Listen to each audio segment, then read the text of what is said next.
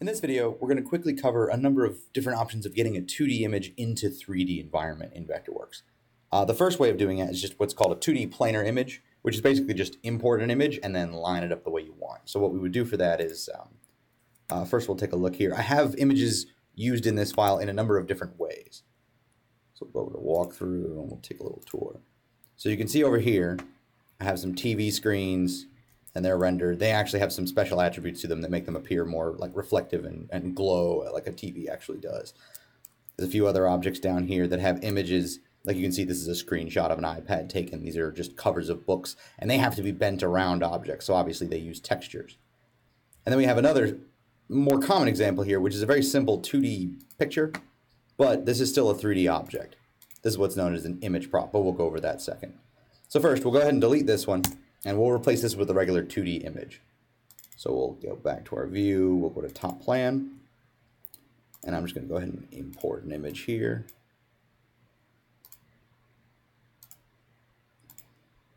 see it imports. Now, if I hold shift down, I can scale it symmetrically so I can get it down to the size I want. And if I go to a front view, I can rotate it up into place, align it properly.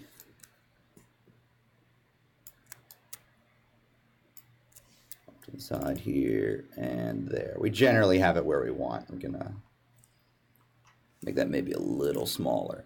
And in OpenGL, that works fine. There's no issue here. There's no issue, there's no problem whatsoever. I can see that in OpenGL and it appears fine. What I want to draw your attention to though is if you render this object, it will not always appear in a RenderWorks mode. So you can see it appears just fine here as a planar image in OpenGL, but if I render this in RenderWorks, you can see I have my transparencies and my IES lighting. I don't get that image. That's because a 2D planar image is not a real 3D object. It holds up generally fine in OpenGL, but in a lot of other rendering modes, especially ones that trace edges, it can break down and you can get an empty square or you can get nothing at all. The other method of doing that is what I had before, so we'll go ahead and undo a few steps back. Now, this is generally the easiest way of doing it. It's what's creating what's called an image prop. So what we'll do is we'll go to Model, Create Image Prop. And that's going to ask us for an actual image file to start with. I'll choose to import one. You can also use one from another texture or anything else, but we'll just import it to be simple on this one.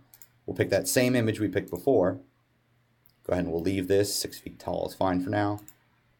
You can see it imports, and you'll notice it's importing over here. It imports at the documents 00, zero. So if ever you lose it, that's where you can find it afterwards. To top plan view, rotate it into place, grab that, move it up against the wall. There we are. You can see it looks a little strange. See how it's sort of embedding itself in the wall there? We'll get a little closer. And see, as I move, it sort of changes a little bit what it's doing. That's because by default, image props face the camera. They face the user all the time. You can turn that off by unchecking auto rotate, so it won't face me anymore. The point that it would do that is if you had um, like trees or people in the background or in a window looking in or looking out, it would always make sure to face towards or away from the camera. That's what this is for. But if I just want an image to hang on a wall, I don't want that. I'll just leave auto rotate off. Now, if you were doing trees or some other sort of um, detail objects like that, you might also want to use crossed plane, but again, that's only if you're in the distance. You wouldn't use that right up next to it.